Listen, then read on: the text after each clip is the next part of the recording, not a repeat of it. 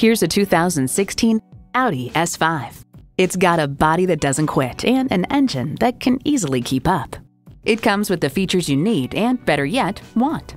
External memory control, power heated mirrors, front heated leather bucket seats, auto dimming rear view mirror, auto dimming mirrors, dual zone climate control, turbo V6 engine, power convertible roof, automatic with driver control suspension management, and doors and push button start proximity key.